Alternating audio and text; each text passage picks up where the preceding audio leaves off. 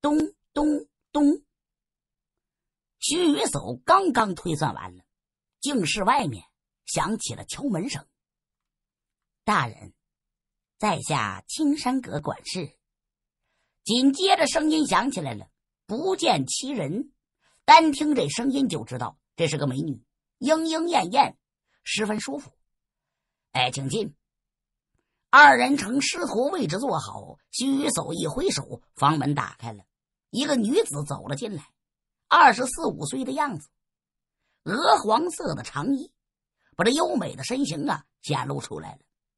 皮肤白皙，容貌虽然比不上洛倾城几个人，却也是百里挑一了。尤其是这双眼睛，带着媚丝，一举一动就能让男人疯狂。在下青山阁管事燕流苏，听两位大人要找在下，不知所谓何事。这个燕流苏盈盈走了进来，把这身段啊。完美的给展露出来。不过让他失望的是，房间这两个人正眼都没看他一下，就换做一般人，恐怕早就心迷沉醉了。他也正因为这样得到了不少好处。遇到这种情况啊，他禁不住还有点意外。但是他也也是见过世面的人，意外以外，随即他就明白了。这俩人不简单，他连忙收了小心思，态度是恭恭敬敬。青山阁，你有多大的权力？见他这么快呀，就认清情况了。徐玉叟捋了捋胡须，在下虽然年轻，青山阁阁主是我叔父，拥有阁内百分之七十事件的决定权。燕流苏眼神这么一凝，知道对方这么问，肯定有事要说，所以呀，他连忙回答了：“一个如此规模的青山阁，拥有着百分之七十事件的决定权，足以说明他的地位。很好，我师徒二人来自清月峰刘家，我叫刘毅，他叫刘玄。这次想进入天君书院。”找个机会，想见见秋生大人，不知你们能不能给安排一下？徐雨叟淡淡说了：“清月峰刘家。”燕流苏一愣，随即露出惊讶之色：“你是说，不错，刚被修罗灭族的清月峰刘家，只有我们两个逃了出来。我想见到秋生大人，问问他为什么要和修罗合作。”毁我们如界亿万年的基业。薛雨叟态度悲愤：“这聂云吓了一跳，不知道对方在那搞什么鬼。这葫芦里卖的什么药啊？青山阁在军城里面能弄出如此大的规模来，那肯定和如界高层有密切关系。这样说不等于自己往枪口上冲吗？哎，这事儿……”我不敢擅自做主，呃，想请教一下我叔父，再给准确的答复，还请两位见谅。燕流苏显然也是一愣，他震惊了一下，之后啊，他咬了咬嘴唇，一抱拳说了：“我们能来这里是信任青山阁的荣誉，这事儿十枚完美级别的纯灵丹。”代表着我的心意，你回去和你叔叔说，我们带着足够的诚意来的。只要青山阁能完成这个心愿，价格尽管开口。徐雨叟摆了摆手，他闭上眼睛，不再多说了。是。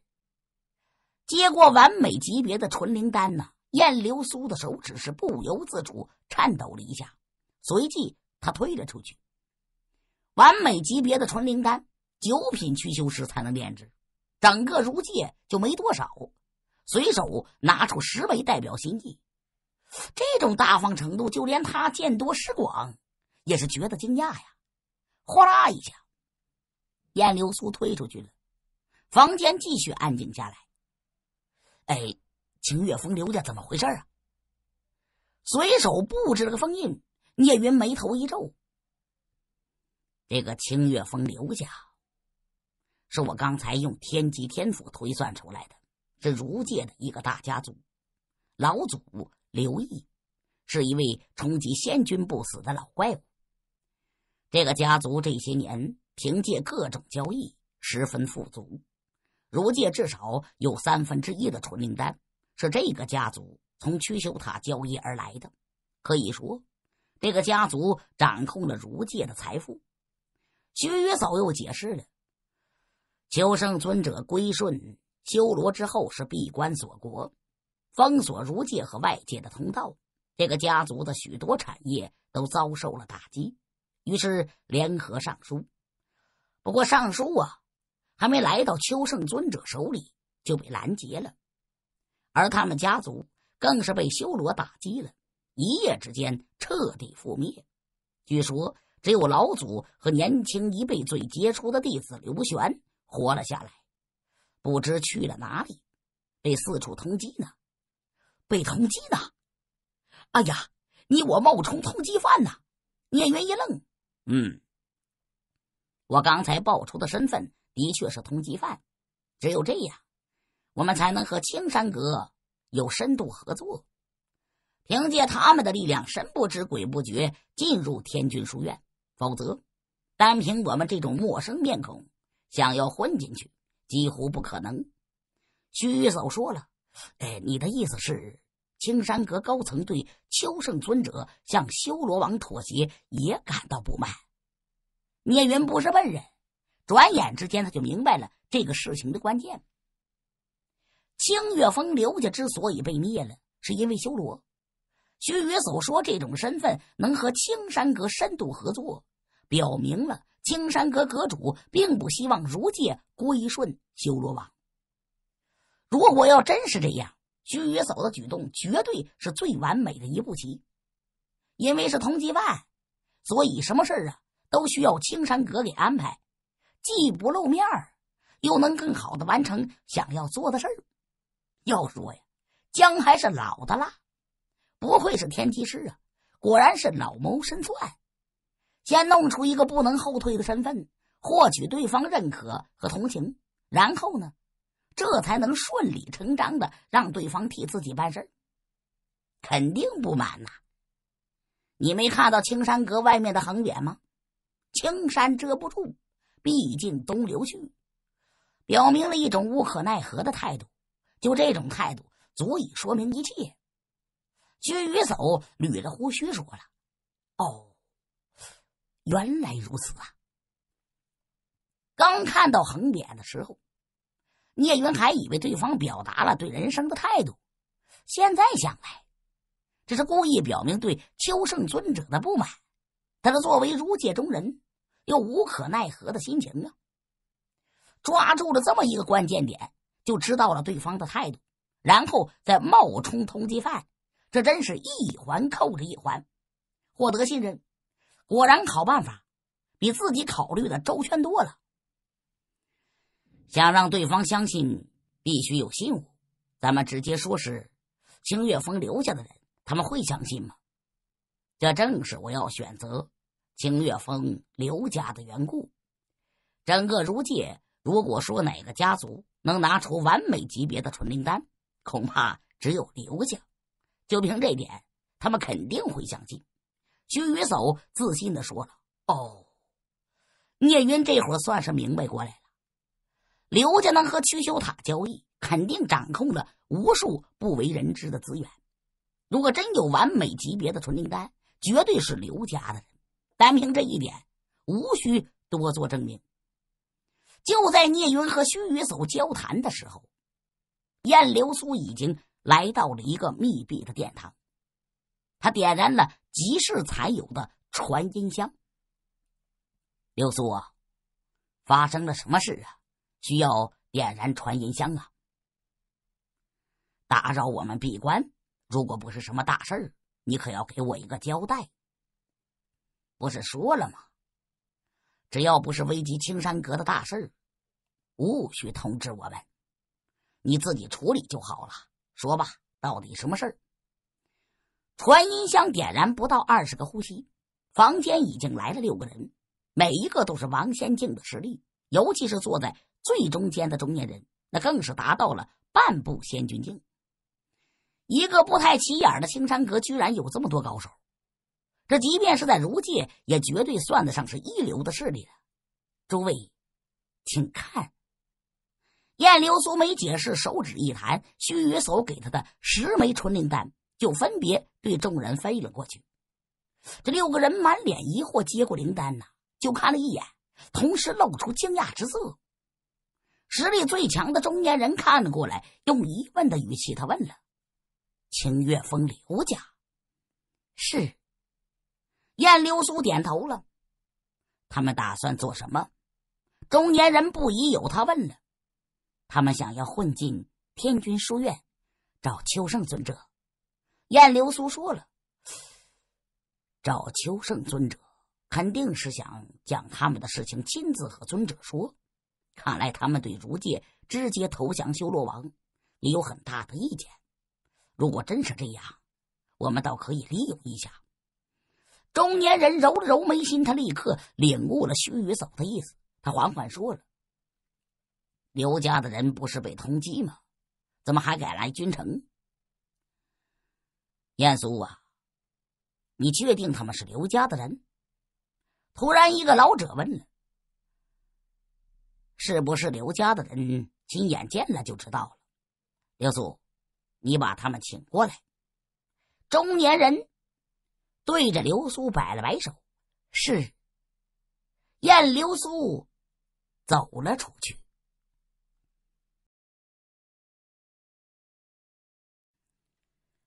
静室之内，聂云、须臾走正在这商议具体计划呢。燕流苏啊，就走了过来。听青山阁阁主要见他们，知道事情已经基本上按照设计的方向发展了。二人站起身来，跟在燕流苏身后走去。聂云身为晚辈，自然是跟在须臾走的后面。如界最讲究礼仪廉耻。晚辈绝对不能和前辈并肩走，这是规定，也是礼仪风范。伪装如界的人，这点做不到，很容易被发现。果然，燕流苏是悄悄观察，不疑有他呀，是暗自点了点头。很快，来到了刚才密闭的大殿，看清楚了，这店里呀，居然有六位王仙境强者。聂云也是一惊。之前来的时候，为了防止打草惊蛇，他并未用灵魂扫视，并不知道一个小小的青山阁会有这么多高手。当然了，这些人在别人眼中算得上是高不可攀了。真要是出手，千分之一呼吸都不用，就能全部捏死。我与刘家老祖有过一面之缘，你们到底什么人？敢伪装？刘家的人一见到这二人了，坐在中间的晏殊是突然大声说了一句：“伪装刘家的人，看来阁主没打算与我们合作。你去找你认识的刘家人吧。”告辞。徐雨走面容不变，转身向外走去。哎，且慢！二人还没离开房间呢，喊声就响起来了。这晏殊啊，站起身来。据我所知，刘家的人几乎都死了。你说你们是刘家的人，空口无凭。如果没有证据证明，我们实难相信。证据？徐雨手大手这么一招啊，空中瞬间就飞出数千枚纯灵丹来，在空中飞翔，散发出精纯的灵气。不知道这算不算证据？啊？这些都是完美级别的纯灵丹呐！完美级别的纯灵丹，对我们突破有极大的帮助。要是能得到，十年内我们绝对能够突破到半步仙君境界。没错呀，整个如界恐怕只有刘家的人才能拿出这么多完美级别的纯灵丹。看到陡然飞出来的纯灵丹，大厅里的众人呼吸急促，诸多老者眼睛都红了。完美级别的纯灵丹，你别说对王仙境强者，对仙君都有作用啊！如此珍贵的东西，那是可遇而不可求。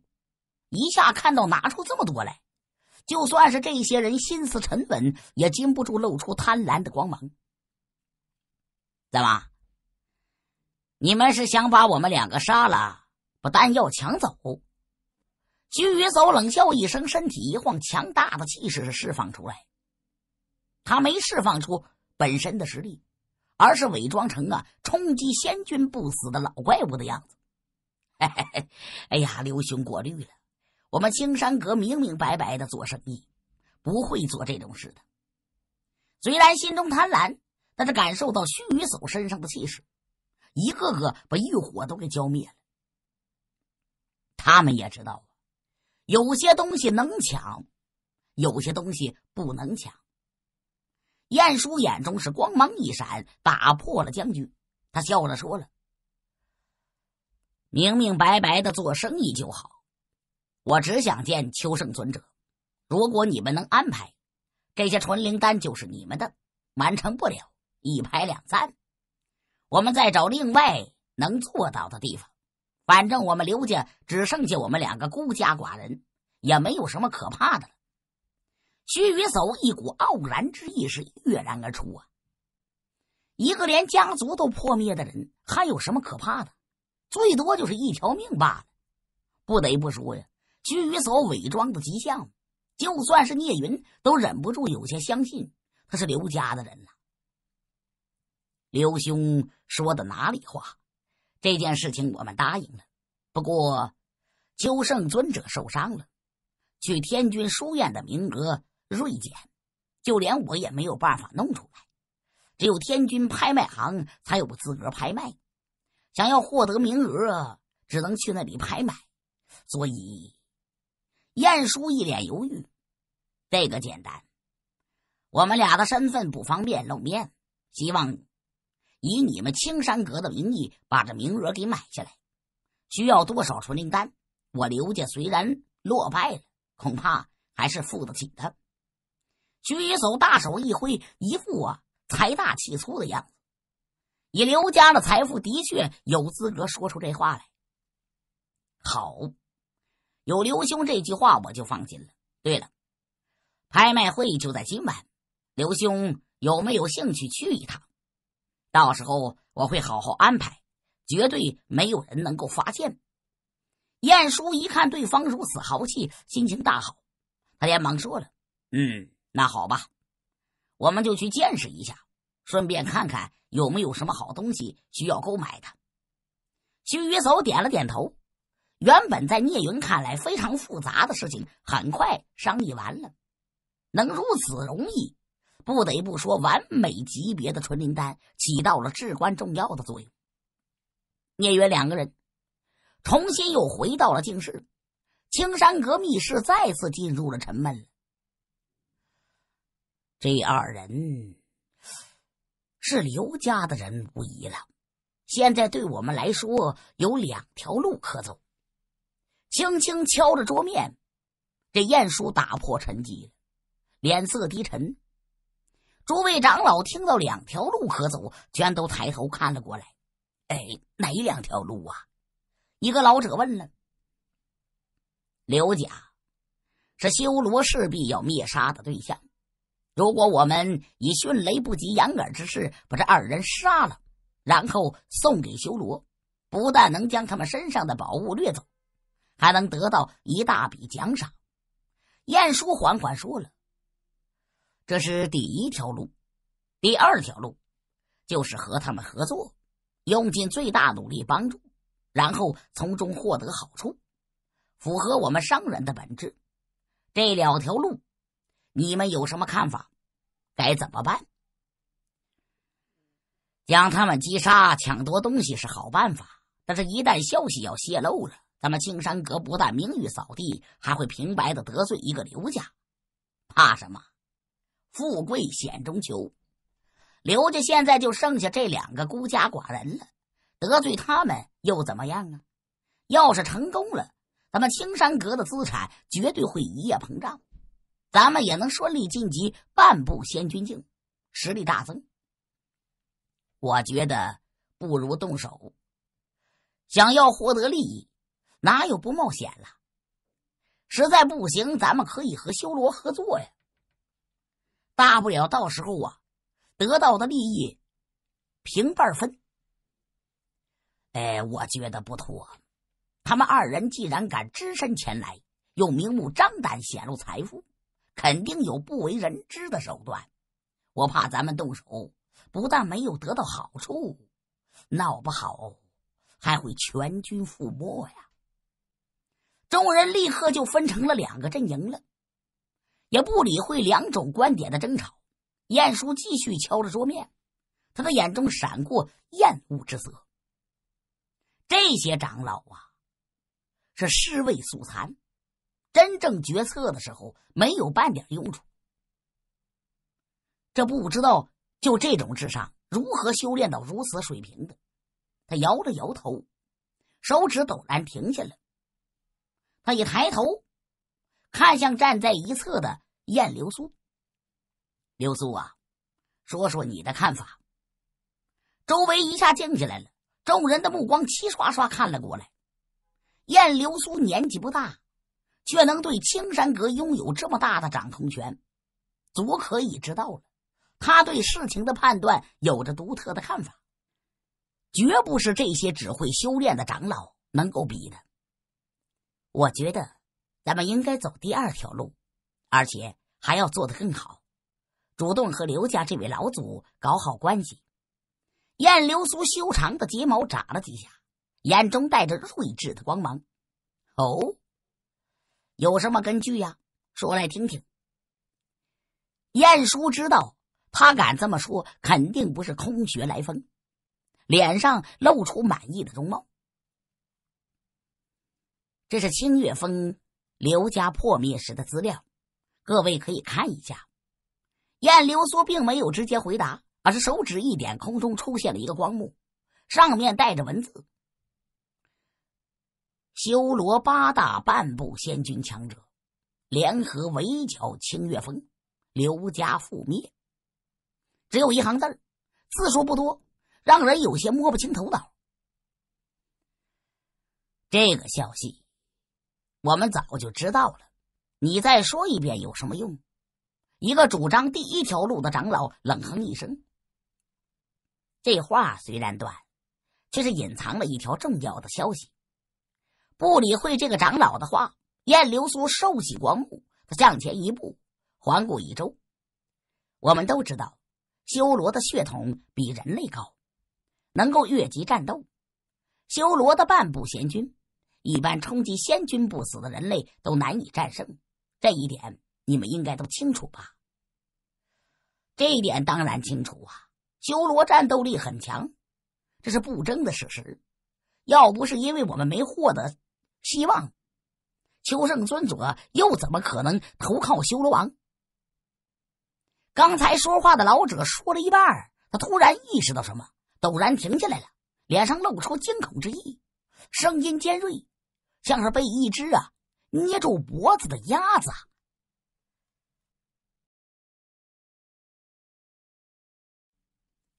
看来你也想到了。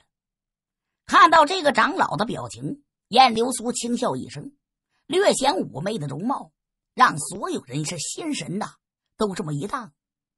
不得不说，这个女人呐，不但拥有超人的智慧，容貌更是美丽的可怕。八大半步仙君级别的修罗同时出手，肯定早就布置了天衣无缝了。结果还是让这位刘毅、刘玄逃了出来，而且看样子并没有什么伤势。当然，也可能是伤势已经恢复。即便如此，足以证明这两个人保命手段极强。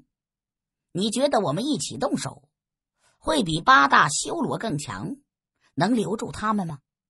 哎，这听到这种分析，所有人都明白过来了，脸色是同时一僵。他们虽然都是王仙境的实力，但是和半步仙君修罗差的不是一星半点啊。后者都没留住这两个人，让他们留住，无疑是痴人说梦。刘家全盛时期，在如界的地位可想而知。秋圣尊者或许早就知道修罗动手了，但是碍于修罗王的面子，他不敢多说。但是如果我们动手没有成功，反被对方逃走了，你们觉得秋圣尊者知道之后会怎么做呢？燕流苏继续说了：“哎，这呃秋圣尊者为了平息其他书院的胡思乱想。”或者做样子给别人看，也会拿我们开刀啊，把我们青山阁一网打尽，证明如界还在他的掌控之中，不能自相残杀。说到这儿，刚才主张第一条路的长老脸色都变了。九圣尊者会不会这么做？我们只是猜测，但是我们真要对这二人动手，恐怕还没等到秋圣尊者出手。就会全军覆没。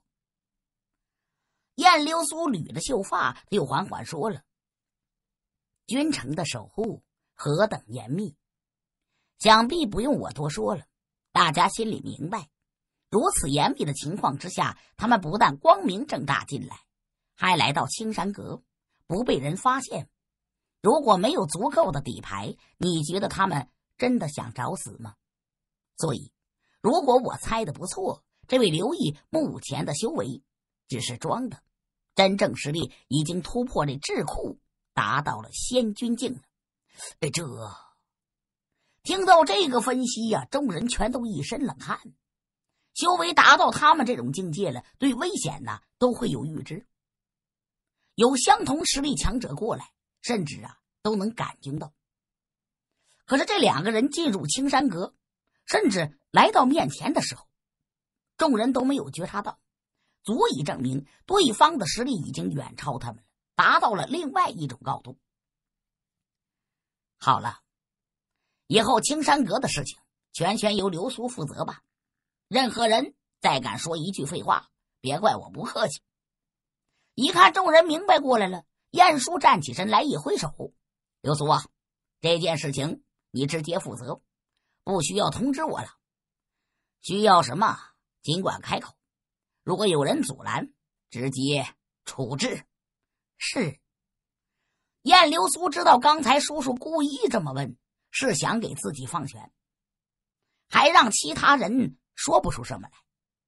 他连忙点头了，脸上啊生出兴奋的红润。我这就去办。不愧是得到了最高的权限，不到半个时辰，一个鎏金的。请帖就出现在了聂云二人面前，正是天君拍卖行的至尊卡。天君拍卖行不但是君城最大的拍卖行，还是整个如界最大的。其中的至尊卡并不是有钱就能够得到，代表了身份和地位。青山阁能够弄出来，足见势力之强啊！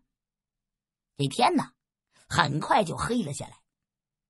二人在燕流苏的带领之下，向着天君拍卖行走去，一路无话，顺利进入了拍卖行。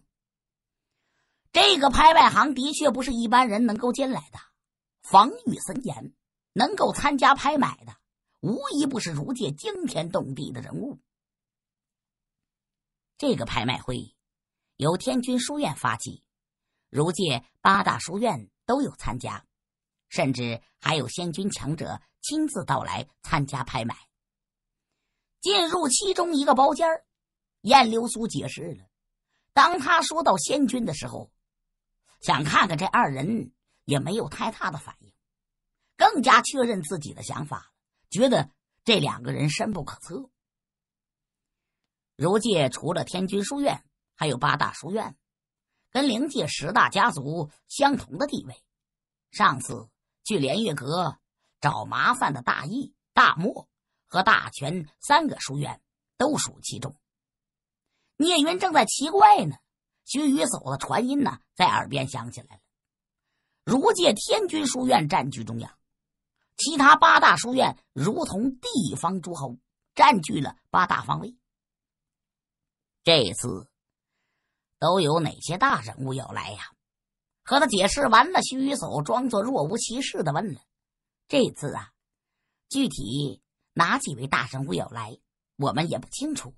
不过根据一些蛛丝马迹显示，大林书院院主、大新书院院主、寻圣尊者、喜圣尊者可能会过来。”燕流苏的工作做得非常细致，似乎知道他们呢会有此疑问，提前呢就把消息准备好了。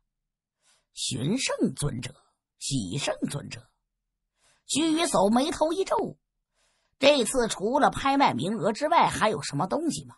值得他们这两个老怪物出手了？玄圣尊者和喜圣尊者是上古活下来的大能。要论起地位，不比当初的柯圣尊者低，都有仙君中后期的实力。别说在如界呀，就算在整个天地六道，那都算得上是赫赫有名的大人物。这种大人物从来不出现，此时来参加一个拍卖会，未免有点怪了。唯一的解释就是这次拍卖的东西值得他们出手。大人。这个消息炒得如此沸沸扬扬，你们居然真的不知道？听到问话了，这次轮到燕流苏有点奇怪了。这次拍卖会拍卖物品的珍贵，你别说君城，就算在整个如界，那也是排得上的。只要是如界的人，没有不知道的。他怎么看出来？丝毫不知啊！我二人一直逃亡，隐藏都来不及。怎么可能知道？现在疑惑了。徐雨走啊，冷哼一声：“哦，是在下鲁莽了。”燕流苏这才明白过来，他吐了一口气：“也对呀，一直逃亡的人，光想着能不能保命了，哪有功夫关注这些呀？”这种心思一闪而逝，燕流苏很快恢复之前的睿智了。这次据说有一头混沌神兽幼兽出售。说到这儿，见二人有些不明白，他连忙又解释了：混沌神兽是生活在混沌世界中的超级灵兽，天生血脉强大。一些神兽只要达到成年，就拥有仙君级别的实力。这一次虽然拍卖的是幼兽，但要是能将其收养镇住，只要养大了，就等于多出一位仙君的妖宠。所以啊，这个消息传出来，整个如界都轰动了。居然能抓来混沌神兽的幼兽，嘿，厉害呀！聂云和须臾叟对望一眼，各自感到震惊。对于混沌神兽，二人都不陌生。成年的神兽的确可怕，只不过这种物种啊，稀少不说，还隐藏在混沌深处，能抓住幼兽。就算聂云都觉得不可思议，是一头什么神兽啊？心中赞叹一声，徐宇走啊，随口就问了。对于神兽，他们二人没有什么觊觎之心。家里有好几头不说，就算买下来养大了，还不知何年何月呢，根本就起不上作用。本来问话呀，就是随口一说，听我都忘了。不过当听到燕流苏说出这个神兽的名字。二人差点同时跳起来，啊，是神兽熟狐。什么？你再说一遍是什么？二人眼睛同时瞪圆了。哦，是一种叫做熟狐的神兽。我刚开始啊，听到这个名字也觉得意外，不是天地六道存在的生命。燕流苏啊，还以为二人没听过这个名字，觉得震惊呢，却不知道二人兴奋的快要疯了。这是踏破铁鞋无觅处，是得来全不费功夫。释迦佛祖炼制兵器所需要的三件宝物当中，第一件是七彩风铃，第二件就是天君圣典，第三件正是混沌神兽熟狐的精血。现在天君圣典没得到，没想到反而啊，先打听到了熟狐的消息，这还真是意外之喜。本来两个人参加拍卖会只抱了随便看看的心思，除了所谓的名额之外，就没打算出手。怎么都没有想到啊！正巧有熟狐神兽出现了，这可真是冥冥之中自有天意。这个属虎必须拍卖到。聂云对须雨叟点了点头，开玩笑，能拍买到，谁还去混沌当中去抓呀？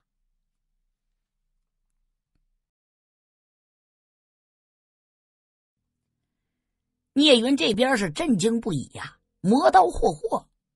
其他包间呢，此时也是个个势在必得，暗自发狠。天字一号包间是整个拍卖场最豪华的场所，这种地方并非有钱就能来的，还要有足够的地位。此时房间里一共有四个人，其中三个人站着，一个端坐在中心，深邃的目光紧盯着拍卖场。这次，这头属虎神兽，我们一定要买到，有了它。我们书院将会一跃超过其他七大书院，成为天君书院之下第一了。中间坐着的中年人声音冷厉，带着果决之意：“是，不过这次喜圣尊者也来了，他们真要和我们争夺，不怕咱们未必能够获胜啊！”他身后一个儒生啊，连忙说了：“哼，他这个伪君子，在天军拍卖行。”谅他也不敢胡来。我这次带了足足三千万至尊纯灵丹，不信他能超过我。中年人摆了摆手：“三千万至尊纯灵丹，玄圣尊者花这么大的代价，就为了换取一头幼兽，是不是有点不值啊？”身后的儒生有些奇怪：“三千万至尊纯灵丹，价值之大，无可估量。”就算是购买一件造化仙器都差不多够了，就为了购买这一头幼兽啊，未免也太亏了。原来此人就是传说当中的玄圣尊者，如界能被称为圣尊者，足以说明地位。你懂什么？混沌神兽潜力无穷，只要给他足够的宝物吞食，很快就能够达到成年形态。到时候，咱们书院多出一位仙君后期的强者，你觉得三千万至尊纯灵丹还多吗？玄圣尊者冷哼一声说了：“哎，是。”听到训斥了，儒生不敢多说了，他连忙点了点头。相同的场景同样发生在其他的包间里。这次能来参加拍卖会的，几乎都是如界惊天动地的大人物。都想把这头属虎神兽收为己用，明面上相安无事，实际上却是暗流涌动。一旦这头神兽出场了，绝对就是矛盾对碰之时。包间里的诸多强者呀，全都是摩拳霍霍。天军拍卖行显然也不太安静了。天军拍卖行当代的负责人叫子贡。是修圣尊者的首徒，早就达到了仙君级别了，一身修为是惊天动地。大师兄，师傅为什么要突然卖掉这头属虎啊？当初师傅得到的时候，不是欣喜异常吗？打算自己亲自养大了。房间里头有这么几个人，其中一个青年问了：“这次师傅受伤了，需要大量的纯灵丹恢复啊。”最好是完美级别的，否则呀不会下此决定。坐在中间的大师兄子贡脸色低沉，他缓缓说了：“师傅受伤，难道是？不错，是那位聂云打伤的。师傅的受伤啊，就是做徒弟的耻辱啊！这一次师傅啊被迫卖掉属虎了。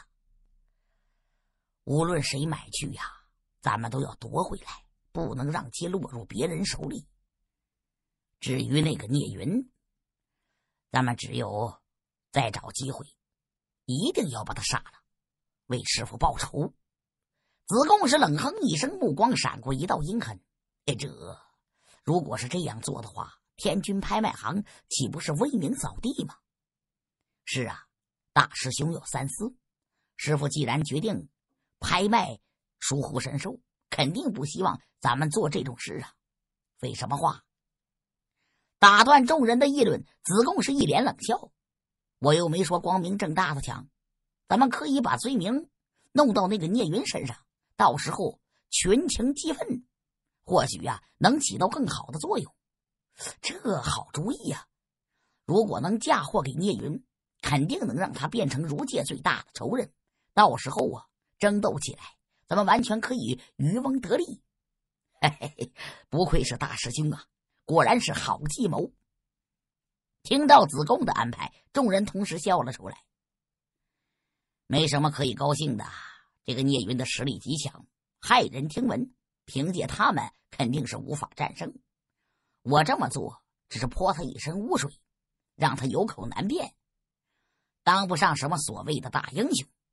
子贡说了，对于聂云的实力，他知道的比较多，明白就算是玄圣尊者、喜圣尊者这样的强者过去，都不可能是对手。这样安排最多只能啊给对方弄些污水，想要造成实质性的伤害，那还不够。其实他的算计呀。远不是泼脏水就这么简单了。一旦这件事要成功了，购买熟狐神兽被夺走的书院肯定会和连月阁那是势不两立。到这个时候，这个书院一旦突然要消失了，矛头肯定会指向聂云。如果再能好好利用这种矛盾，调动修罗的力量，连月阁被灭，那就是时间问题。当然，这些计划在子贡的脑子里头游淌。他并没有说出来，知道的人越少，效果就越好。天耳师天父把这些对话听在耳里，聂云并没在意。在他看来，小丑之间的争斗，就算是诬陷，也没有太大的影响。不理会他们的计策，此时的聂云呢，正看向拍卖场的中心，他有点无奈。拍卖会已然开始了，本来呀，听到有熟狐拍卖。对这个拍卖会的级别呀，抱有极大的希望，打算在其中啊淘一些好东西。结果却发现拍卖的东西说起来好听，实际上对他呀一点用没有。并不是宝物不好，而是他掌控曲修塔、连月阁两大势力，这一般的宝物啊，他根本就看不上眼眼界实在是太高了。这就好像啊。一开拍卖组合器械，是一套半造化仙器，仙君初期强者用上都能实力大增。可是对聂云来说呢，随手就能碾碎，还没他肉身坚硬呢。即便就是买下来，也就是个废物。而且，只要材料足够，凭借炼宝石天赋，现在的他呀，可以随便炼制了，提不起任何兴趣。不光他没兴趣，徐雨走。也是兴致阑珊，活了亿万年的老怪物，什么东西没见过？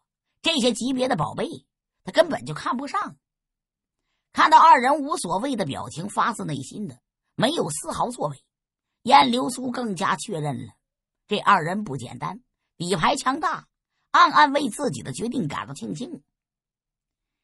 这件龙舟古船是一件破坏的造化仙器。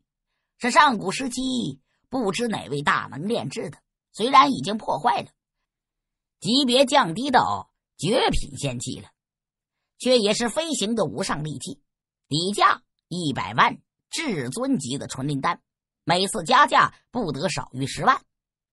就在聂云觉得没什么好东西的时候，昏昏欲睡的时候，突然拍卖场传来一个呼喊，他抬头一看，立刻就看到了一艘古船出现在眼前。这艘古船古旧不堪，从外表上看已经破旧的差不多了。不过不知为什么，聂云一看呐，顿时心中就生出想要得到之感。和北斗星君炼制的那个东西很像，如果能融合在一起，再加上北斗星宫，或许呀能完成他的心愿。突然，聂云想了起来，眼前的这个东西之所以有这种感觉。是因为呀，和北斗星君想要炼制穿越混沌的宝物有点相似。要是能将其给买回来，与之融合，即便是炼制不成超越造化仙气的东西，肯定也能恢复这只龙舟古船昔日的威势。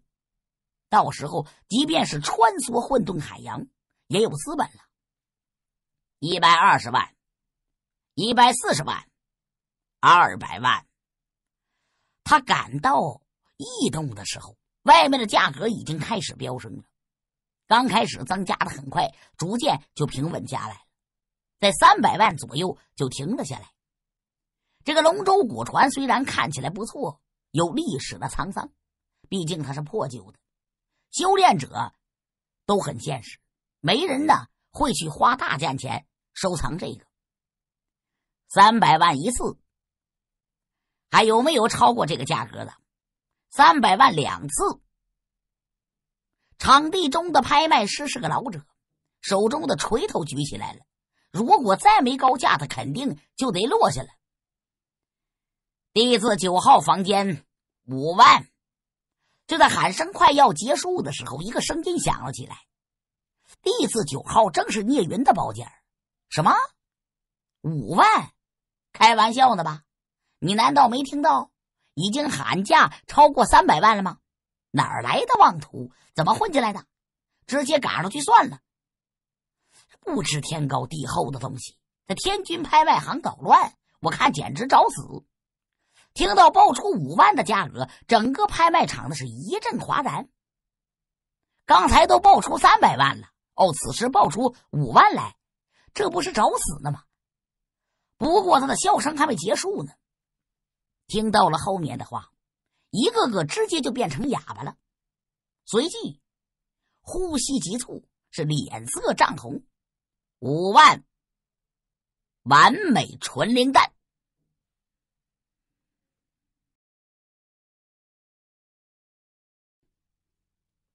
纯灵丹分为普通、纯净、精华、至尊、伪完美、完美六个级别，每个级别的兑换值。大概在十倍左右，那么也就是说，一枚完美纯灵丹等于十枚伪完美的纯灵丹，等于一百至尊纯灵丹。这种兑换关系只是理论，实际上越高级的纯灵丹价格是越高，更是有价无市，尤其是完美级别的纯灵丹。九品驱修师才能炼制这种丹药，何其珍贵呀！别说如界，就算是天地六道都不多。一下有人拿出五万来，价值相当于五百万至尊纯灵丹，而且呀是价值更高。难怪众人都震惊了，这是不是来捣乱的？可恶！五万完美纯灵丹，居然敢说出这种大话！这么多完美级别的纯灵丹，就算驱修塔都拿不出来。这个人呢，绝对是在这胡搅呢。这种无视规定的家伙，就应该直接给他杖毙。震惊过后啊，是连天的喊声。仙君交易的都只是至尊的纯灵丹，完美的纯灵丹，许多人都不曾见过。陡然有人要拿出五万来，根本就没人相信。弟子九号包间，你确定是五万完美级别的纯灵丹吗？众人议论。拍卖会负责的老者听在耳里，呼吸急促。他问了，他也是生怕对方信口开河呀，胡说八道，否则天君拍卖会的招牌直接就得给砸了。老夫有的就是纯灵丹，说五万当然有五万。如果有人想和我争的话，在下继续。奉陪就是。薛雨走向前走了一步，苍老的声音响彻当场。随即，他手指向前一点，无数丹药是喷涌而出。这一出现呢，涌现出漫天的灵气，冲入了拍卖台。漫天丹药，每一枚都是滚圆圆润，散发出让人沉醉的气息来。参加拍卖会的都是强人呐，全都一眼认了出来。绝对是完美级别的纯灵丹，没有丝毫问题。呼哧一下，所有人的呼吸都急促起来，一个个脸色涨红，随手拿出五万完美纯灵丹，听口气，一点不是问题。这人到底谁呀？谁他有这种魄力呀？有没有价格超过五万完美纯灵丹的？如果没有的话，这条龙舟古船就是地字九号包间的这位大人的了。台上负责拍卖的老者连续喊了三声，没人超过这个价格，这才让人把这龙舟古船打包了，给聂云几个人送过来。地字九号房间是什么人呢？送古船的人。才刚走出房间，子贡几个人就走了过来。回禀大人，是青山阁的人。不过，拍买人的身份虽然保密，但那是对外，对内他们想要知道非常简单。不过什么？子贡脸色一沉。这地方虽然是青山阁的人包下来的，但他据说呀是他们的客人。具体是什么身份，燕流苏小姐并没有细说。我们当时也没有追问，客人子贡眉头皱起来了。他转头吩咐一声：“子元，你把古船送过去，顺便看看青山阁的房客到底是谁，什么样的实力。”子渊是秋圣尊者的第七个弟子，实力只是半步仙君，虽然没有突破最后一道障碍，但是真正的手段施展出来，不弱于一般的仙君强者。是。紫渊接过古船，向着地字九号包间走去了。进入房间，就看到了燕流苏了。他开口笑了起来：“呀，原来是流苏小姐拍卖。如果早知道你需要，直接给你送过来了。看这样子，他和燕流苏早就认识。啊，不是我买，是我的客人。两位，你们的龙舟古船到了。燕流苏可不是傻子。”他认出来了，紫渊立刻明白他的意思了。他笑着解释，不过呀，并未说的太多。哦，原来是二位，不知二位如何称呼？紫渊把这注意力转移到了聂云二人身上，似乎啊想要探听他们的底细。买你们东西，难道还必须报上姓名不成？徐雨走没说话，双眼合拢。聂云向前一步，是冷哼一声。哎，这倒不是，我们只是好奇嘛。紫渊连忙说了：“不是就好，东西拿来，滚出去吧。”知道对方是想来打听底细的，聂云懒得废话，手指一弹，紫渊只觉得呀，掌心这么一震，龙舟古船就自己跳起来了，落入对方掌中。紧接着，胸前一阵力量狂涌，甚至反应都没反应过来，已经出了包间了。什么？紫渊骇然，差点没活活吓死。哦，对方这一出手，看起来简单，实际上太厉害了，没有丝毫攻击力，却让他无法反抗。这是什么实力呀？仙君，绝对是仙君级别的强者。紫渊头上都冒出冷汗来了。能让他如此无力，肯定对方是仙君强者，这一点是毋庸置疑了。难怪燕流苏小姐亲自跟随呀，这人不简单呐！想到这儿，他连忙啊向回走去。他回去禀告去了。这边燕流苏吓得是花容失色。紫苑什么实力呀？他心中可是相当清楚啊！被如此轻易给打败了，这是什么实力呀？早就高估这两个人了，却没想到还是低估了。背后一层冷汗呢，多亏呀没听阁内这些白痴的话，要不然这次麻烦大了。你改变主意了？紫渊刚离开聂云，耳边就传来须臾叟的声音：“如果只是单纯获得进入天君书院的名额，然后想办法偷取天君圣典的话，应该是尽量低调，得到名额就走，不应该像聂云现在这样。”让前来试探的人难堪了。之所以这么做，只有一个理由：眼前的少年有了新的计划了。不错，如果得到名额进入书院听讲，恐怕根本就没有机会得到天君圣典。聂云直接说了：“呃，怎么这么说呀？”徐雨走也疑惑呀，他问了：“进入天君书院就等于接近了天君圣殿。难道这个计划有什么纰漏吗？计划没有纰漏，像是听到了对方的心声了。聂云笑了，关键是出现了变故。九圣尊者上一次在道界受的伤还没好，他的伤势没好，肯定不可能露面讲道。如果他不出现，就算混入天君书院，恐怕也得不到天君圣典。再说，即便混入天君书院，肯定也有无数人跟在一起，想要单独行动实在太麻烦了，不如冒险一试。呃，那你有什么计划吗？徐月叟可没想到这件事情啊，怎么变成这样了？他也有些发愣。很显然，他的天机推算之中啊，并未推算出这些来。很简单，我们有足够的纯灵丹，又有足够的实力，能够治病。我要亲自给秋圣尊者治伤。聂云冷哼一声说了：“啊，亲自给他治伤？”须臾手都啧舌了。真要能给秋圣尊者治伤，进入天君书院那是必然的事儿，也能更好的靠近天君圣殿。只是你来路不明啊。对方应该不会让你治伤吧？那就找机会吧。聂云其实他也没有十足把握，只能是见机行事。哎，那好吧。徐雨叟虽然能够推演天下之事，可是对于眼前的少年，却什么也算不出来。或许按照他的方法呀，能起到更好的效果。什么？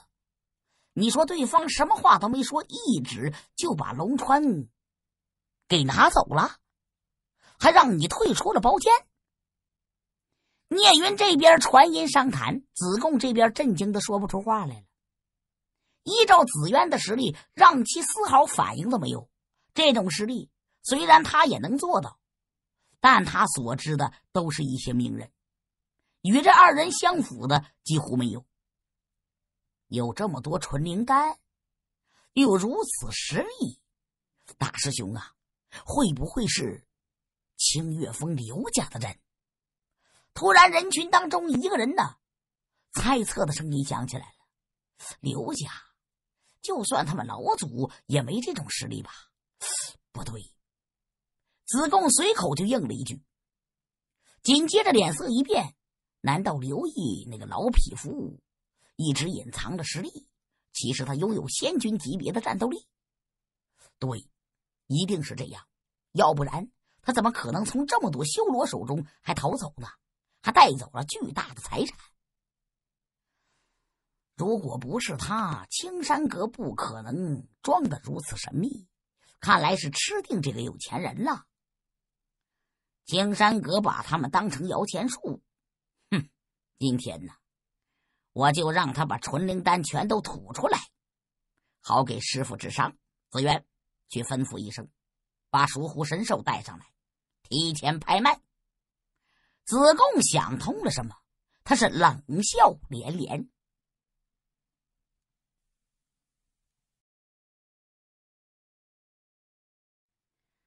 子贡做出决定来了，下面很快就实行了。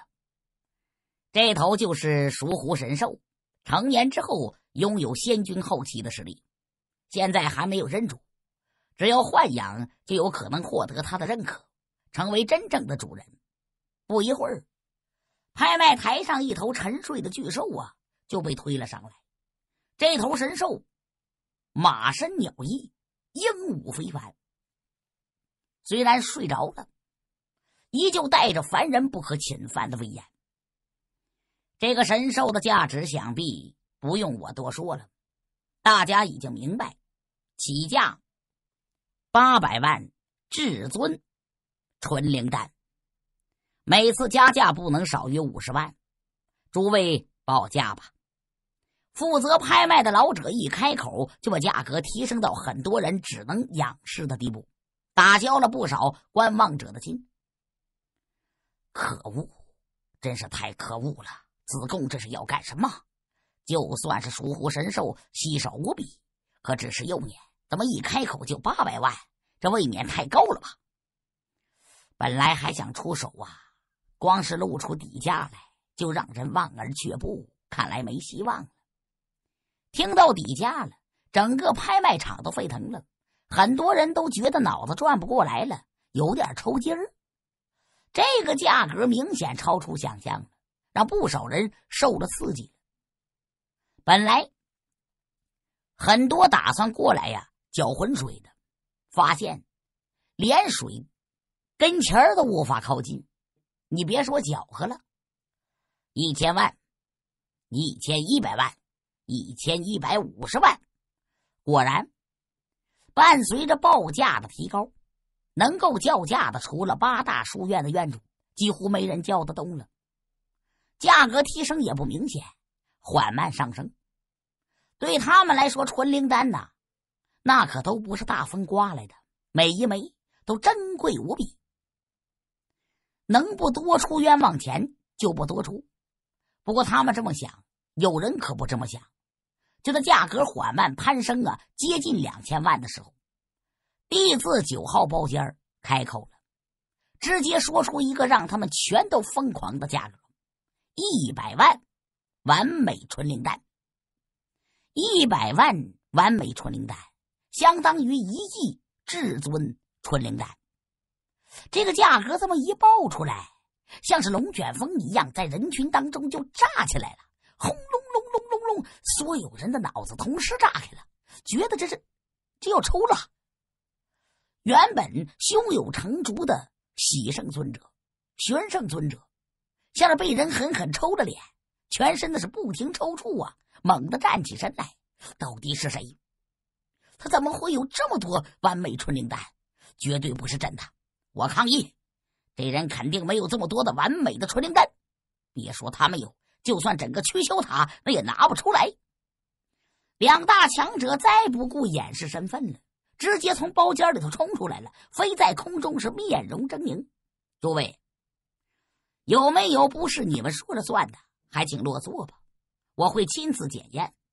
如果他是虚报数字，一定会受到惩罚。当然，要是真实的，这头熟狐神兽只好归弟子九号包间的这个大人所有了。一看场面有点混乱，子贡飞了出来，他朗声说了。凭借他的实力和他秋圣尊者第一大弟子的身份，周围混乱的场景顿时就平息下来了。子贡，我相信你，不过我要和你一起去检验，想必你不会拒绝吧？玄圣尊者冷哼一声：“我怀疑是你们天君拍卖行不想出售熟狐神兽，故意来的这一招。”我也要跟着检验检验。喜圣尊者也走了过来，好，欢迎两位和我一起去检验。子贡似乎早就知道他们会这么做了，眼中闪过一道冷意，当先向着第四九号包间就飞过来了。不过还没来到跟前呢，包间的窗户当中一道光芒闪烁而出。随即，无数丹药那是暴雨一样，向着拍卖台就飞了过去。不用检验了，这是一百万完美纯灵丹，你们拿着，回头把熟狐神兽送过来就行了。暴雨般的丹药汇聚成灵气长龙，这精纯的气息呀，让在场的所有人都是心神激荡，兴奋不已。这可是一百万完美纯灵丹呐！哎呀，居然是真的！到底什么人呢？怎么一出手就能拿出这么多来？听他的声音，似乎啊，对这一百万还不在意。哎呀，好有钱呐！拍卖场是再次沸腾了，所有人都被眼前的景象是震惊的说不出话来。一百万完美传灵丹堆在一起，就像是一座巨山，矗立在拍卖台上，让人震惊的说不出话来。果然是真的，可恶！这到底是谁？谁会有这么多完美传灵丹？不可能吧！人群中感到最不可思议的，要数喜圣尊者和寻圣尊者。这两个人本以为呀，是天君拍卖行不想卖疏忽神兽，故意施展的手段。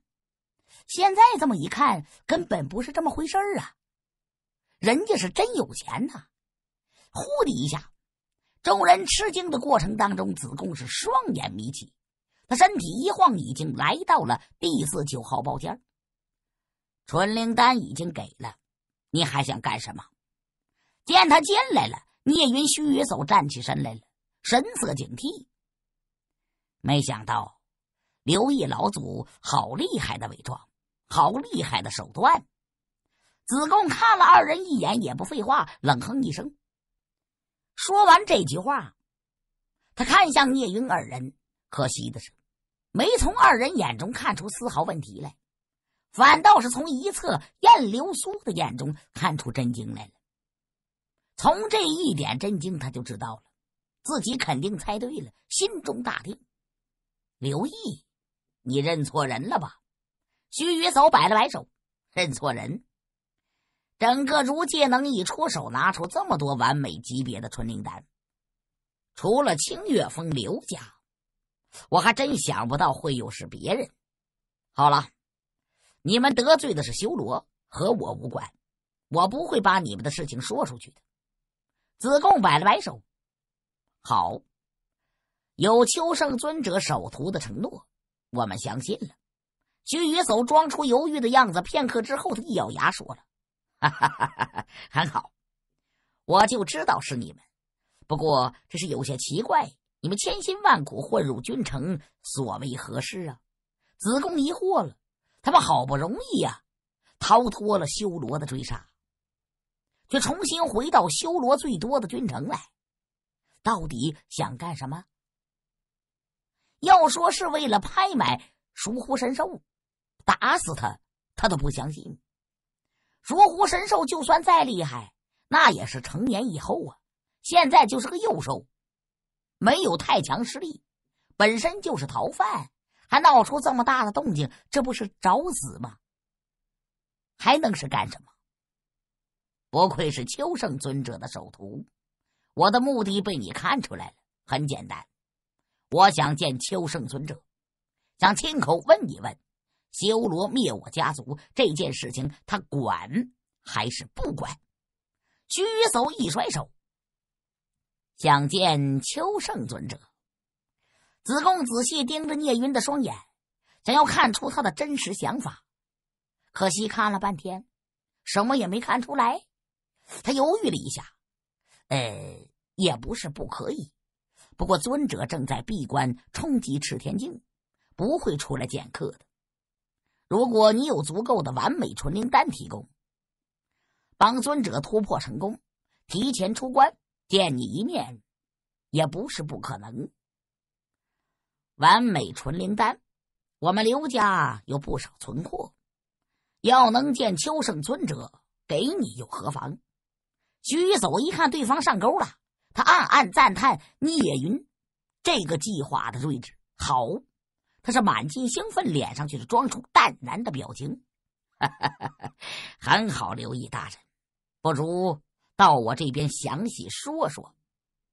子贡也没想到对方如此好说话啊，他的眼中闪过一道疑惑，不过随即呀就被掩饰下去。他大手一招：“燕流苏，你的帮助在下感激。”徐月嫂点了点头，看了一次的燕流苏一眼。他手指一点，一连串完美纯灵丹就飞了出来。这是给你们青山阁的。说完，头也不转，跟着子贡身后是向外走去。子贡是一边前行啊，是一边偷偷观察。当看到徐雨叟如此大方，随便扔出数万完美纯灵丹当感谢，心中不停哆嗦呀。相对于当事人燕流苏啊，并没有接到灵丹的兴奋，反而带了松了一口气的感觉。眼前这个刘毅，面对子贡仙君的压力，居然是谈笑自如，肯定也是一位仙君强者。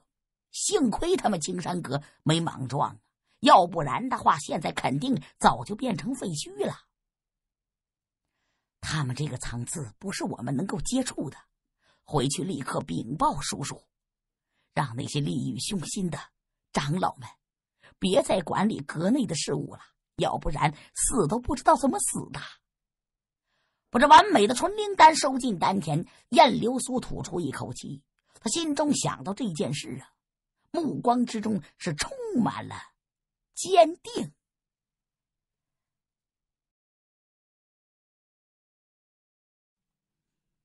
君城，如界最核心的地方，是大人物玩的地方。哪怕是在别的地方称霸一方的王仙，在这里，你最好在这趴着，因为说不准你就会碰到仙君了，死都不知道怎么死的。所以呀，在君城生活要低调，还得低调。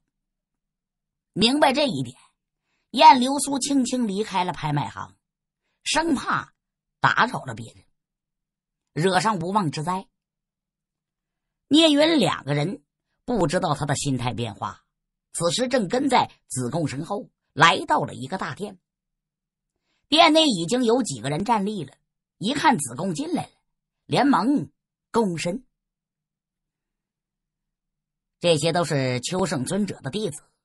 有五个都已经达到仙君级别了，估计这个子贡还是不放心我们的身份，过来试探的。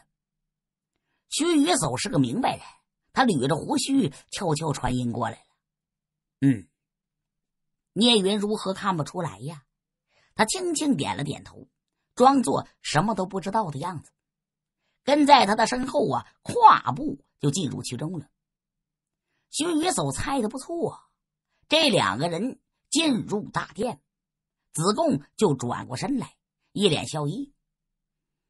这是我师弟，五师弟子孝。当年曾有幸去过刘家，见识过他们家不外传的秘籍——清月剑术，一直自己摸索，不知对还是不对，还请两位给指点一下。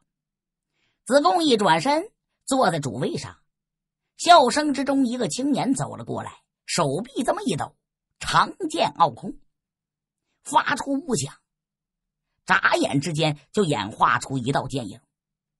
这道剑影徒有其形，没有其意，虽然看起来威力不低，就是带着似是而非之感。很明显，这是偷学来的，并非是正宗传授的。娟儿，你去把清月剑法耍一下，让几位大人过过目。徐宇走看向聂云，他微微一笑：“是。”聂云伪装的人叫刘玄，他哪里知道什么刘家的秘籍呀？不过就是凭借武道师、剑道师天赋，就看了这么一眼，能推演出这套剑法的正确修炼方法。身体一纵，他就跳入场中，将修为压低到王仙境，是并指作剑，连续点两下，滋。他的动作和之前子孝一模一样，但是剑气纵横，还没出手呢气势已成了。很显然，把这一招啊修炼到了大成的境界。好剑法！看到这一招，子孝是赞叹一声啊。他一转头看向子贡，悄悄点了点头。在他看来，能把这套剑法修炼到如此境界，肯定是刘家的人没错了。怎么，这回相信了吗？我们是不是刘家的人呢？徐叟站起身来，他一甩手：“刘家只剩下我们两个，苟延残喘。之所以冒险来到君城。”就是想亲眼见到秋盛，亲口问他一句：“我们刘家为如界做出不少贡献呢，到底犯了什么罪？说灭就给我们灭了？”，哎，刘老爷子，不要这么大的火气呀！刚才那样做呀，只是小心罢了。你们刘家出现如此变故，并不是秋盛尊者的意思。我师傅啊，他到现在还不知道呢。一见徐雨走的表情，子贡确认了身份。见他脸色不好看了，他摇了摇头：“哎，实不相瞒，师傅他老人家受了伤了，此时正在闭关呢。对你们刘家的事儿，的确是一无所知啊。如果知道，绝不可能让修罗如此胡作非为呀。秋圣尊者受伤了，徐叟装出一脸惊讶的表情。是啊，找你过来详谈，其实是想问问你有多少完美的纯灵丹。放心，只要你能让师傅的伤势恢复，我敢保证，一定会给你一个最公正的处决，还你们刘家一个公道。子贡连忙说了：“这样啊，我家族破灭了，所有纯灵丹都在我身上，应该是够用。不如这样，你带我去天君书院，我要亲自见秋生尊者。只要见到他，我会把身上所有穿灵丹都贡献出来。见不到他老人家，恕我无能为力。”徐宇叟摇头了。哎，这怎么？难道还怕我对尊者不利？就算我想动手，也没这个实力吧？徐雨叟摆了摆手，哎，这倒是啊。子贡点头了。对于他师傅秋圣尊者的实力，那他还是比较信服的。即便现在受伤了，天地六道能够胜过的不超过一手之数。而这几个人当中，很明显没有眼前这个刘毅。对了，我还有从曲修塔得到的木生之气。如果你让我见秋圣尊者，我会直接把这道气息交给他，让他恢复伤势。徐雨叟下了个猛药，啊，有木生之气，好！子贡眼睛亮了，再没有半点犹豫。两位现在在这里等着，我去安排一下。然后就带你们去天君书院。说完，站起身来，走了出去。伴随他离开，之前的子孝、子渊紧跟了上来。师兄，就算他们是刘家的人，看样子这怨气不小。难道真的要带他们去见师尊吗？万一他伤害师尊怎么办？二人露出担忧之色。放心吧，伤害师尊，他们还没这个胆子。刚才的话，只是怨气罢了。子贡淡淡一笑，他随意一摆手：“对了，你们把那熟狐神兽带过来，同时宣布已经被人购买了。把这熟狐带过来，这家伙已经愿意拿出完美纯灵丹了，为什么还要把这头神兽给他呀？”子孝不解呀。把熟狐带给他，有两个好处：第一，天君拍卖行的名声不会毁坏，同时啊，能获取他们的信任。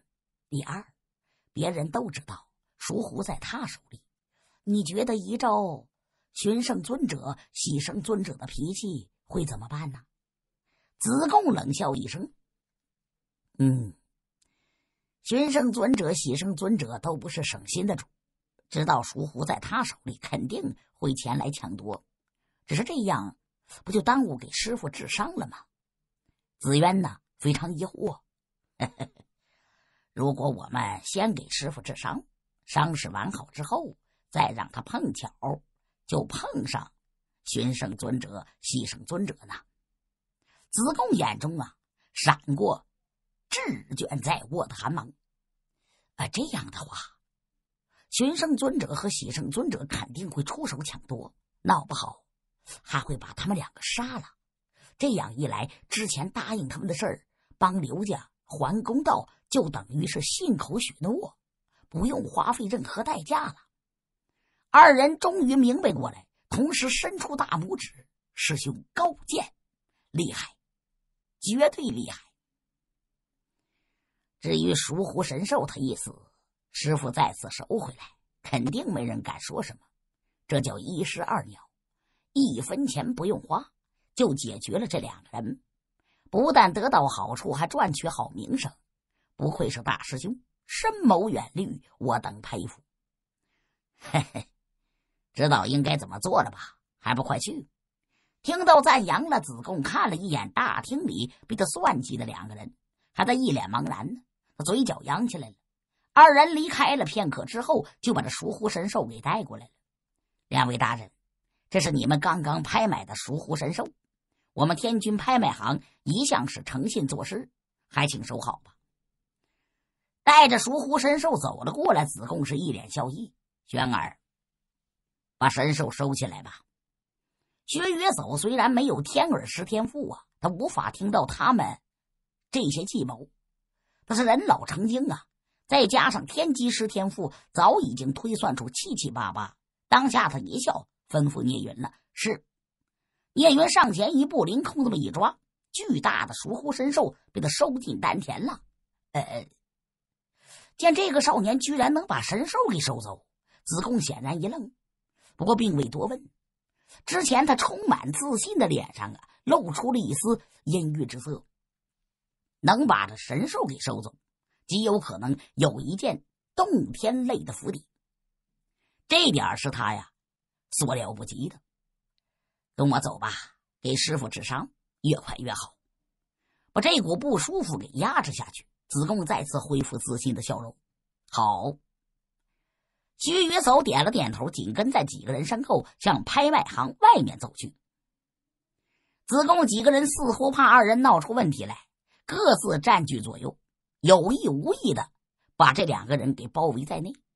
不过聂云二人对他们这种实力包围啊，根本就不在乎，一副无所谓的样子，倒让他们原本还疑惑的心境还放松不少了。很快。这几个人就离开了拍卖行，来到了一个巨大的院落之前。看着眼前的院落，耳中好像听到了朗朗读书声，是直冲云霄。四处洋溢着书卷之气，让人有一种徜徉书海、通彻万世的感觉。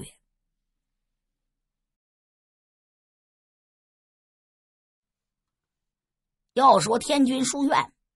是秋圣尊者居住的地方，是儒界文化起源的核心，底蕴最深厚的地方。各种楼阁，那是严格按照辈分、尊贵程度排列的，甚至阶梯数都有明确规定，不能丝毫逾越。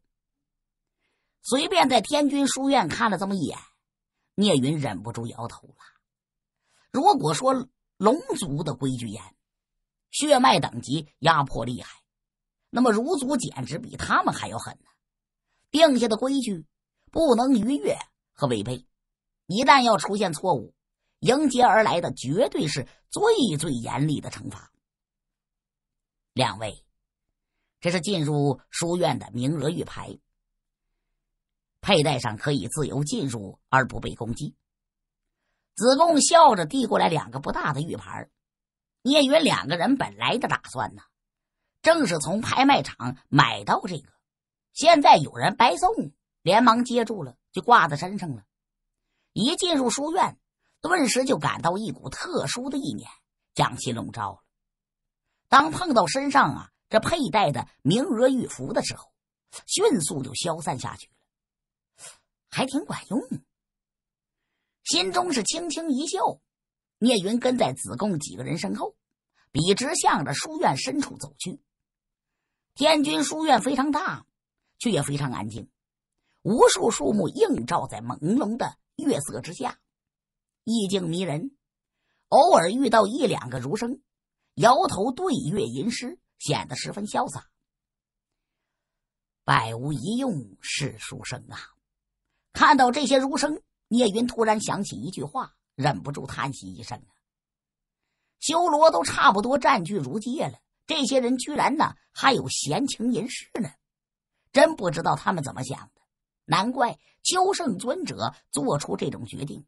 如界的人嘴上功夫厉害，真正要动起手来，却个个是胆小如鼠。不过值得一提的是，书院的这些儒生啊，实力还真就不弱啊！随便看到这么几个。竟然都有圣仙、王仙境实力，由此可见，儒界总体的实力还是极强的。哎，师傅他老人家在极圣殿疗伤，刘毅大人，你直接把木生之气给我，我转交给师傅治伤。一旦伤好了，就会处理你们家族被灭之事。很快，几个人来到了一个宽阔的殿堂之前。这个殿堂前面呢，光这楼梯就有九十多层，蔓延向上，宛如是通天之梯呀。最上方的横匾上手书三个大字：“龙飞凤舞”，是气势凌人。正是天君书院最高的建筑，也是秋圣尊者居住的地方——极圣殿。极，最高点，尽头，巅峰之意。以极圣自居呀，聂云忍不住觉得这个秋圣尊者也够自恋的。我要亲自见到求圣尊者之后，才能贡献纯灵丹，否则此事休提了。徐雨走不买子贡的账，他一甩手：“哎，尊者不见人，我这么做只是不想伤了和气。你难道认为我会贪图你的纯灵丹不成？”子贡脸色一沉：“怎么，到了天君书院就想翻脸？我们现在是孤家寡人。”不怕你的威胁，见不到秋圣尊者，大不了我们二人死在这里。不过我要是死的话，也会当先把这纯灵丹给毁了，让任何人都得不到。徐雨嫂这么一甩手，眼中露出冷厉之意了。他的话带着威胁之意，是不卑不亢。哎，你子贡眼睛眯起来了，他一股杀机在心中蔓延。不过。他也是一个成大事的人，随即吐出一口气：“好，我这就禀告师傅。”他的话还没说完呢，极圣殿内一个声音响了起来：“子贡，让他们过来吧。”声音威严，带着一丝啊疲倦的味道，正是秋圣尊者。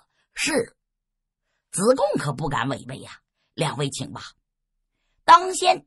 踏上了台阶，一步一步走了上去。徐雨叟使了个眼色，二人紧跟在后面，也向上走去。天君盛典，在这个极圣殿里，一边前行，聂云一边呢悄悄传音了。他拥有仙音师天赋，实力又强，传音也不怕秋圣尊者发现了。嗯，天君圣典是镇压天君书院气运威严的东西。就在极圣殿最中心要眼处，我当年曾见过一次。如果不进来，根本就没有办法偷走。徐雨走缓缓传音过来。过一会儿，我想办法拖住求圣尊者，引起他的注意。你想办法把东西给偷走，然后咱们直接逃出军城。嗯，好。聂云点头了。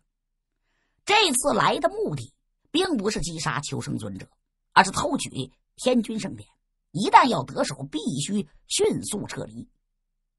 不对，修罗王也在这个极圣殿里。又走上几个台阶，聂云突然心中一动，他脸色猛然变了。修罗王在这儿，徐雨叟也是面容也一下寒冷下来了。以他们二人的实力，天地六道能让其忌惮的，恐怕也只有一个人了。这个人就是修罗王。如果他要在这儿，天君圣典呢，还怎么偷啊？不好偷了，闹不好啊，还会被发现，狼狈不已。放心，按照原计划行事，修罗王应该在修炼，并未注意这边。感应了一会儿，聂云吐出一口气来。感应之中，修罗王并未动弹，一直啊就待在一个所在，应该是在修炼。如果速战速决的话，不会引起。对方注意，不过还是得小心点修罗王在这儿呢，那就等于拥有数以亿万的修罗大军，稍有个不慎，陷入其中，不死也得扒层皮。现在没有彻底突破之前，他不想与之正面为敌。毕竟啊，修罗王势力太强了，甚至已经强大到可怕的程度了。师傅，二人正商议着呢，脚下并未停歇，很快就走上台阶了，进入了大殿。这殿堂宽阔浩大，一个人盘膝坐在大殿中间，头上一本书籍一样的东西悬浮在正上方，散发出光辉。人影正笼罩光辉之下，是双眼紧闭。这，这是天君圣典。看到悬浮在人影上方的书籍，聂云差点没昏过去。盘膝坐着的人影，不用说了，正是秋圣尊者。天君圣典就在他头上悬浮着呢，散发光辉，如此引人入目，怎么偷啊？就好像啊，想偷走漆黑房间里的明灯一样，除非对方是瞎子，否则你再转移注意力这也不行啊。看来只能见机行事，实在不行啊。强行动手抢吧！徐雨叟也没料到这种情况，他也有点无奈。呼的一下，二人悄然传音商定计策的时候，秋圣尊者睁开眼睛了。师傅，这二位是清月峰刘家的人，听说你受伤了，专门带了完美纯灵丹和木生之气前来帮你疗伤。子贡看出来师傅眼中的疑惑，他连忙解释了：“清月峰刘家，多谢两位用心了。”秋圣尊者笑了起来。聂云实力比邱圣尊者高，伪装起来呀，就连他都看不出来了，还以为真是刘家的人。尊者客气了。徐一走向前一步：“我们过来给尊者治伤，并不是用心，而是想要问问尊者。”我们刘家到底做错了什么，被一夜之间毁灭干净，只剩下我们两个逃出虎口，毁灭干净。子贡，怎么回事儿？秋圣尊者似乎真不知道这件事所以呀，他是眉毛一挑。嗯，是清月峰刘家得罪了修罗，数日之前被修罗灭杀干净，这件事情被修罗压了下来，没有人禀告。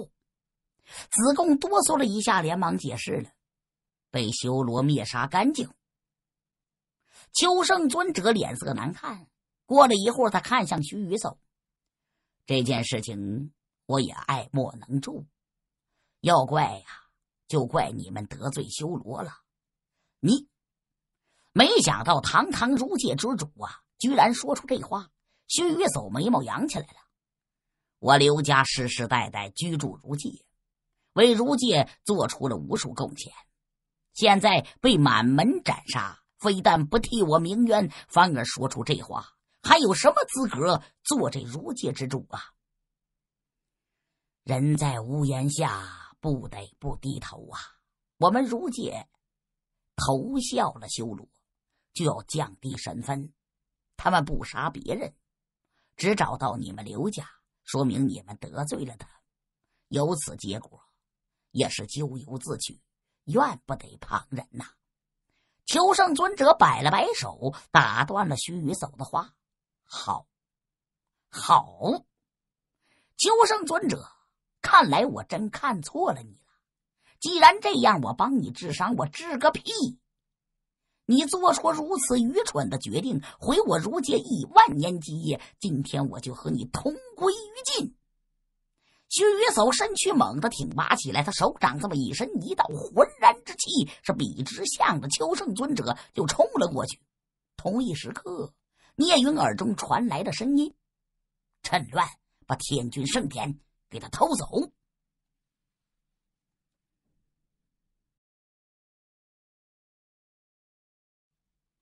轰隆隆隆一声响，须臾叟出手并未施展出最强实力。而是普通仙君的水平，就算是如此啊，那也非常可怕了。力量是漫天冲击，气浪迸溅，整个极圣殿都在强大气流的冲击之下是颤抖不已。你敢对我师傅动手，找死！没想到眼前这个刘毅如此果决呀，一语不合就动手了。子贡脸色立刻就变了，他急忙上前，凌空这么一推。他就想把徐雨叟的攻击给挡住。子贡也是拥有仙君后期实力，比徐雨叟表现出来的这个刘毅呀要强大不少。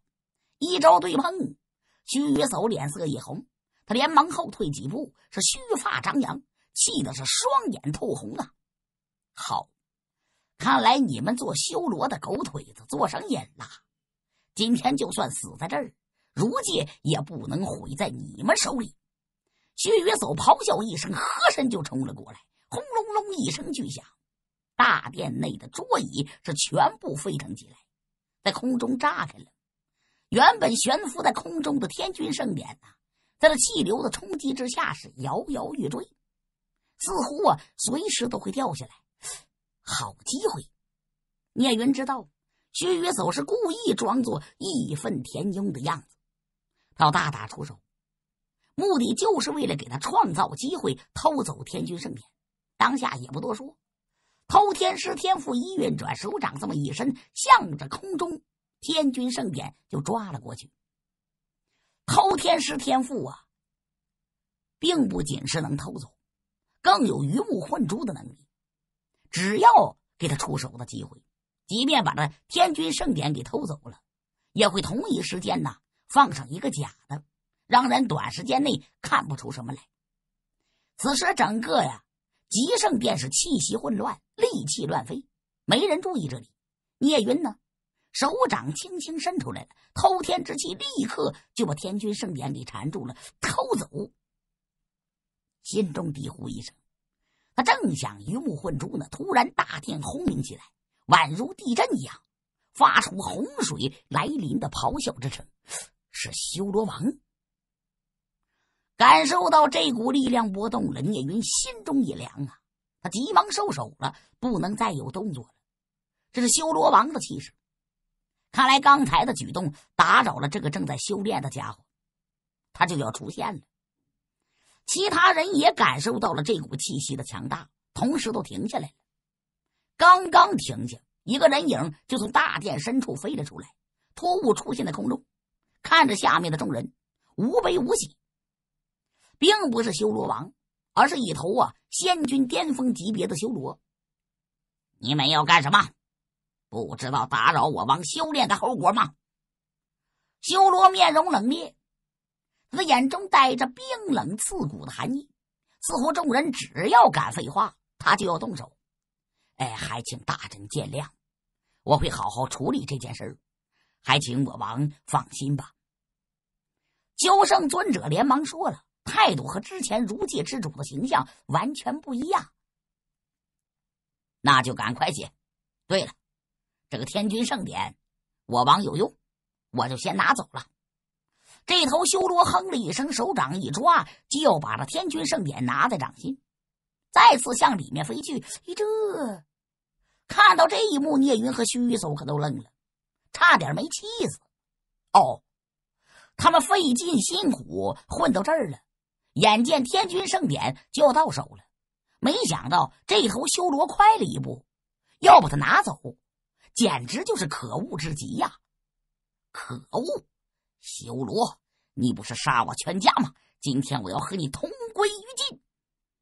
薛岳叟知道，天君圣典一旦要落到修罗王手里，你再想拿出来，没可能了。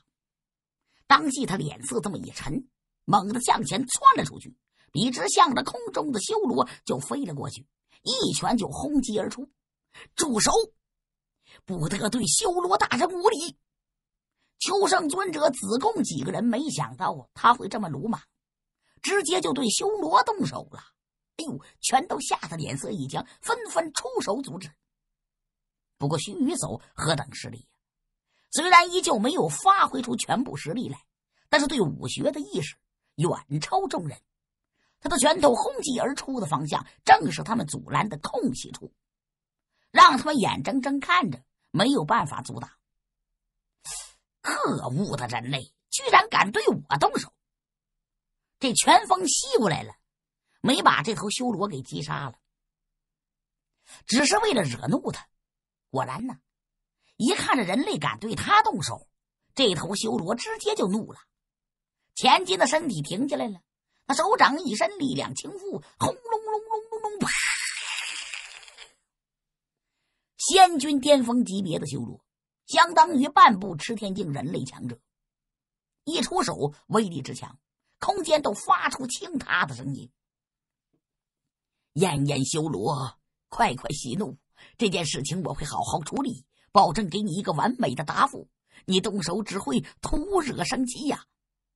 看到这掌的威力，秋生尊者知道啊，眼前这位刘毅肯定是无法阻挡了，直接就站起来了。他双手一挺，挡住了攻击，急忙说了：“猛地一动，再次引发伤势，他是不停的咳嗽啊！看来在道界受的伤很重，不是一时半会儿就能够完好的。好。”我现在就看着你怎么处理，不让我满意，你们几个都要受到惩罚。燕牙修罗没想到秋圣尊者会替须臾叟抵挡攻击，他停下来了，脸色狰狞。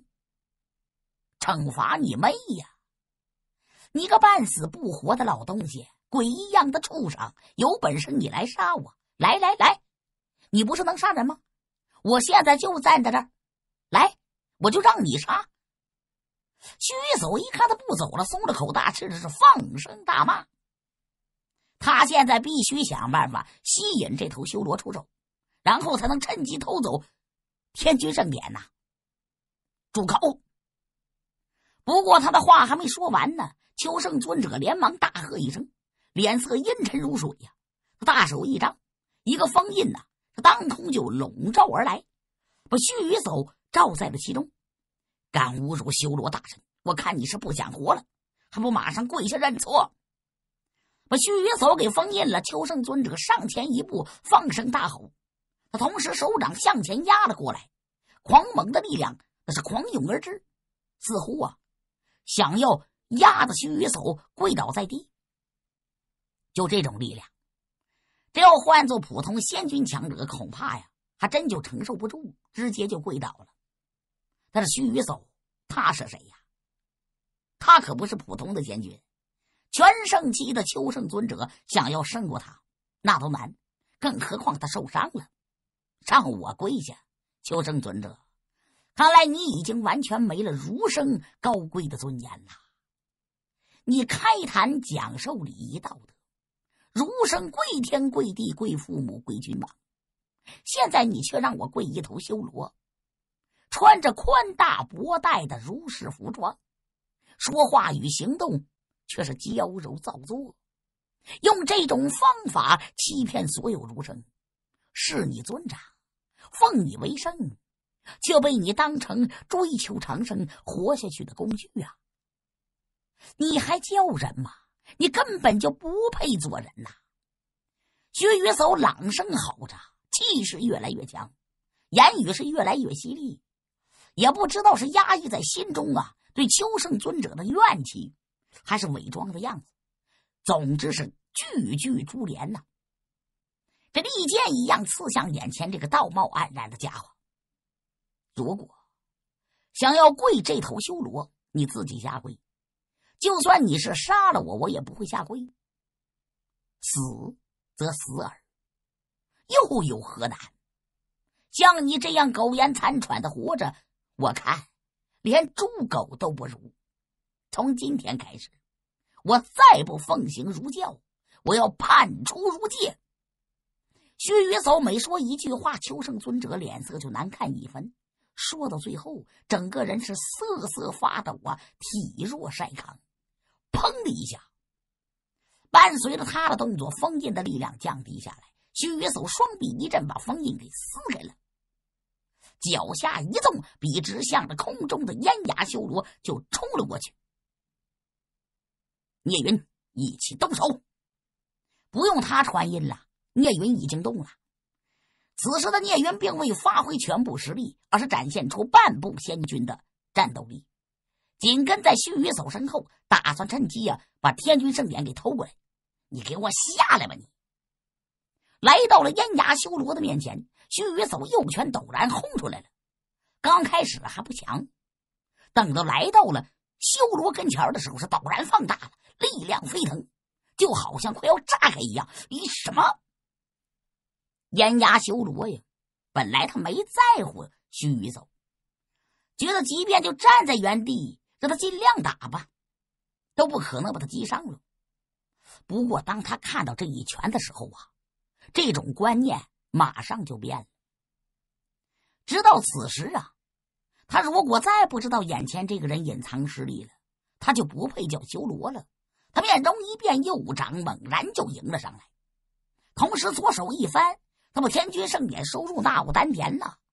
嘿，一看他把东西收进丹田了，虚宇走脸色一变，他暗呼一声：“哎呦，不好！本来就难以得到啊，被他收走了，你再想得到那可难了。”嘿，太好了！不过呀，与他的表情相反，聂云看到这个动作，他眼睛亮了。兴奋的差点喊出来。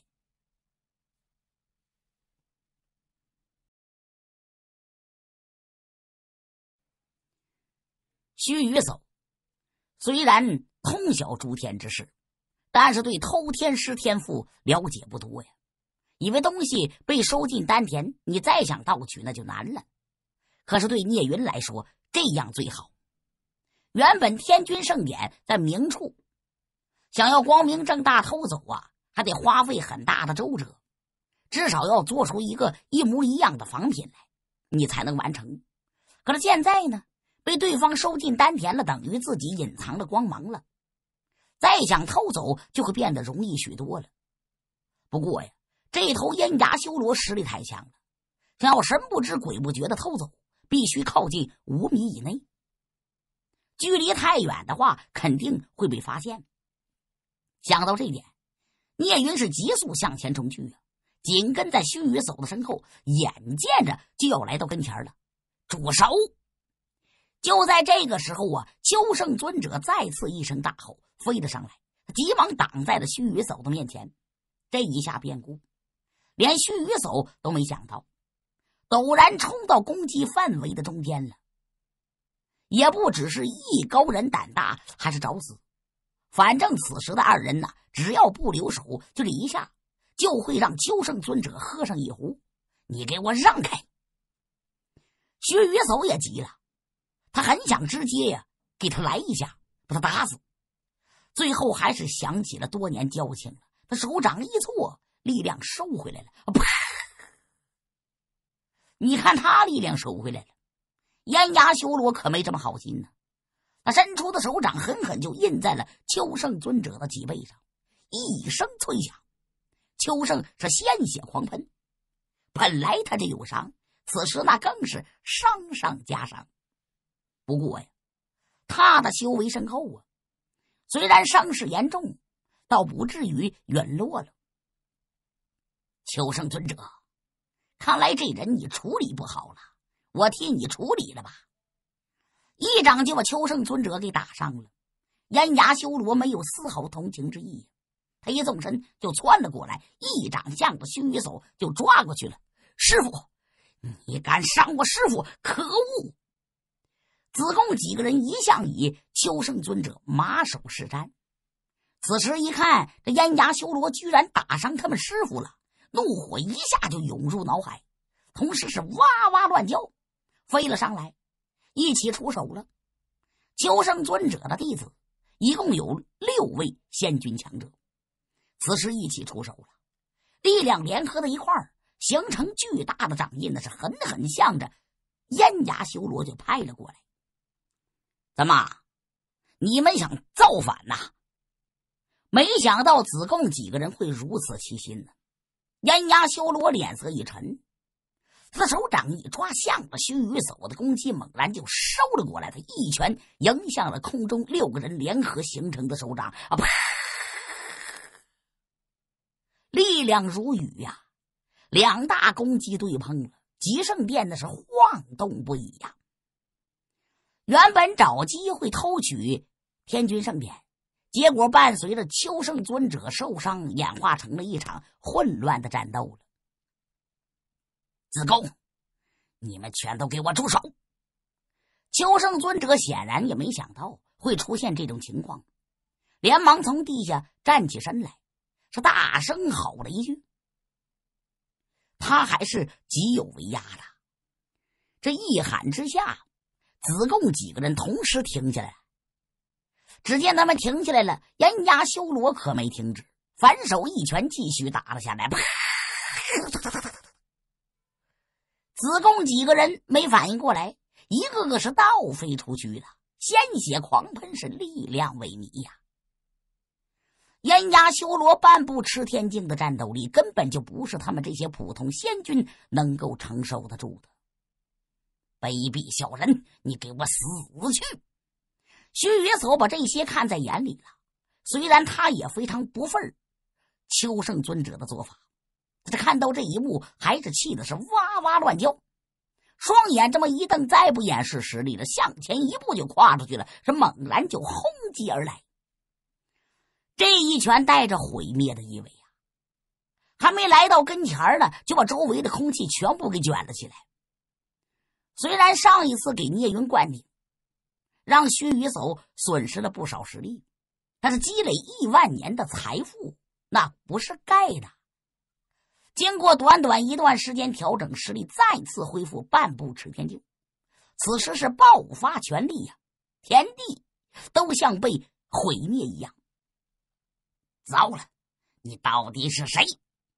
感受到这股力量的燕牙修罗再无之前沉着了，取而代之的是一阵惊恐之意。能打出这种攻击来，肯定不是无名之辈呀！眼前这个人很明显他是伪装了。哼，别管我是谁，我是要你命的人。徐雨叟不跟他废话，身体一纵。已经来到跟前，借助全力，空间就像爆炸一样。就是这个机会，一看这烟牙修罗被拳风压制的难以动弹，聂云眼睛一亮，紧跟其后，眨眼功夫来到了五米范围以内了，手掌猛然就抓了过去，轰隆一下。哥哥，须臾叟，你们来我这里没通知我一声？让弟弟没有提前准备，都有些不好意思了。哥哥兴师动众而来，看来这次咱们兄弟一定要分出胜负了。与此同时，突然天地一阵晃动，一个洪亮的声音响彻整个书院，一个人影是凌空跨步而来。修罗王聂云脸色一沉，最关键的时刻。修罗王发现了他们的身份，突兀出现了。聂云的伪装能力那是盖世无双。你别说秋圣尊者，就算是释迦佛祖几个人同时到来，恐怕都发现不出什么。但是遇到修罗王，那可就不一样了。如果说这个世上还有人能够发现他的伪装，肯定就是眼前这位。此时的修罗王悬浮半空，双目带着冰寒的冷意。如同两个旋转的星球，实力略低呀，要看过去就会被吸引了，活活给你吞了。赤天境，不愧是修罗王啊！不但已经稳固了赤天境的修为，甚至更进一步达到了赤天境中期。糟了！看到全盛时期的修罗王出现了，没有任何伤势。聂云知道今天这事儿啊。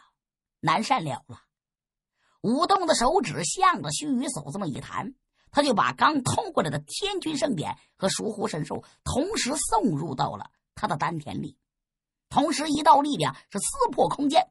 你先去找释迦佛祖，手掌轻轻这么一推，他就把须臾叟给推入其中了，挡在了修罗王面前，恢复了本来的容貌。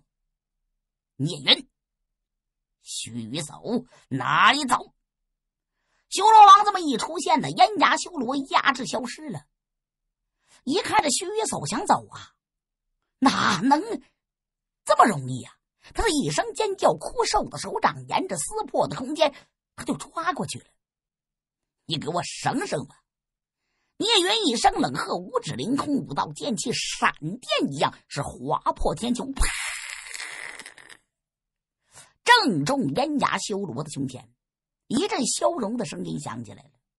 仙君巅峰级别的修罗连呼惨呼声他都没发出来，直接死了，死了透透的。哥哥，好大的威风！既然如此，须臾老头，你就别走了。聂云的动作快，根本就没让修罗王有阻挡的机会。后者脸色一沉。双眼眯了起来，轰然一拳碾压下来，哗啦啦啦啦啦！这狂暴的力量那是倾倒下来。须臾走啊，刚跳进空间裂缝，还没走远呢，就感到裂缝像是被封锁一样，像陷入泥潭的老虎。空有一身本领，是无可奈何了。你还是住手吧！知道须臾走这会儿要一旦被困住了，坏了，你再想逃那可就难了。